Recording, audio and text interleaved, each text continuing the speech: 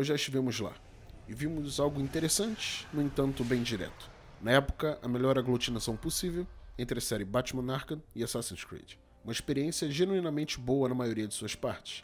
E agora de volta outra vez. Bem, eu não sei se isso foi uma boa ideia. Middle-earth Shadow of War chega com uma proposta maior e mais complexa. Ao invés de uma vingança pessoal, ainda na pele de Talion e assombrado por Celebrimbor, dessa vez você é a principal engrenagem na máquina de guerra que se opõe aos exércitos do Senhor das Trevas. E é assim que as coisas começam a dar errado. Shadow of Mordor era uma boa ideia que escondia suas falhas no seu escopo diminuto. Shadow of War não tem mais essa vantagem, deixando assim exposta a falta de substância, a falta de sentido bem mais rapidamente. O que ele tem para contar e como conta também não é de muita ajuda. Aliás, essa é uma herança do seu antecessor. Caso você seja fã da obra que o inspira, não tem muito para você aqui, apesar de ser compreensível a necessidade de algumas mudanças, afinal, videogames. Caso esse sentimento não te motive, tem menos ainda.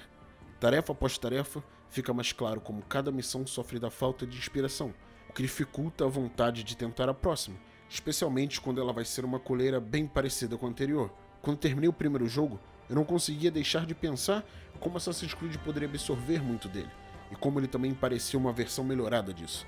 Agora Shadow of War segue tanto o credo dos assassinos que eu mal consigo destacá-lo na multidão que ele faz parte. É como se fosse maior por ser maior, não tem muito benefício nisso para o jogador, além de prejudicar tudo que funcionava anteriormente.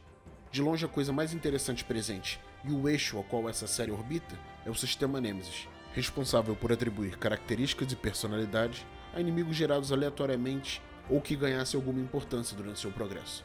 Porém, apesar desse sistema ter ganho mais camadas envolvendo possíveis traições ou algo diferente de mate ou morra, parece que essas interações não evoluíram sua dinâmica da mesma forma. E talvez devido ao escopo atual, o looping fica mais evidente. O matar ou morrer ainda é o gatilho para qualquer uma dessas interações.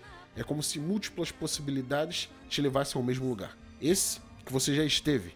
Sendo assim, o jogo perde muito da parte emergente da narrativa, uma parte da história que seria só minha, agora parece bem mais impessoal, até porque acontece sempre. Fora isso, por que não aprimorar o sistema de modo que ele faça parte integral e não mínima do que Shadow of War quer contar? E se é para fazer mais, por que não mais do que deu certo uma vez?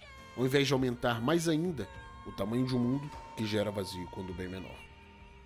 Eu não entendo o porquê de te colocar para enfrentar chefes e missões quase que sempre genéricas e repetitivas, especialmente quando você tem a possibilidade de fazer o extremo oposto disso.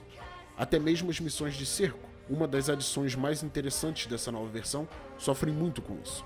No papel existem muitos fatores que podem alterar como tudo pode fluir, mas essencialmente você está fazendo a mesma coisa para que assim você possa fazer mais ainda do mesmo.